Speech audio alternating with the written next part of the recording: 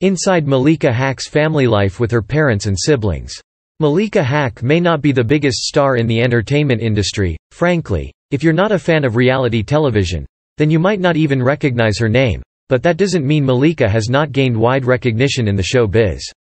The American TV personality is primarily recognized as the Keeping Up with the Kardashians star Khloe Kardashian's best friend and occasionally pops up both on the show and in the star's social media posts. However, there's a lot more to Haqq than just her role as professional best friend. From the complicated dynamics with her parents to her other celebrity connections and surprising financial status. Relationships with relatives can be complicated at the best of times, and that's especially true when it comes to how one feels about their parents. While Malika was born in Los Angeles, Cali, her parents, immigrated from Khuzestan province in Iran, before she was born, according to Iranian.com, which means that her ethnicity is Afro-Iranian. The area her parents hail from is, Iran's most southwesterly province. The Guardian notes while explaining that its residents, faced dust storms, dried-up rivers, and mounting pollution. These days, there's quite a difference between how Haqq talks about her parents. While Haqq seems to adore her mom, telling Kathleen Cross that she admires her mother's strength, saying, she's emotional, but she's 100% strong. I don't think I could have gone through half the things she went through.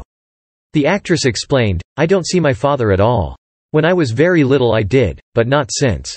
Well, actually, I saw him at a family funeral once. She described the encounter as awkward. Haqq was also willing to open up about how her relationship, or lack of a relationship, with her absent father affects her, saying, For me, it makes me distance myself as soon as I think a man is going to leave. I'm like let me leave you first. Along with the fact that Malika Haqq is a twin whose twin sister's name is Khadijah, she told Kathleen Cross, I love being a twin. I never want to know what it's like to not have my twin. However, it turns out that they weren't the only twins in the family that included five kids. True. In August 2018, Malika shared a photo of herself and her three sisters on Instagram, writing, Most don't know, I grew up like this. Two sets of identical twin girls in my home. I'm just one. Blessed my mama twice.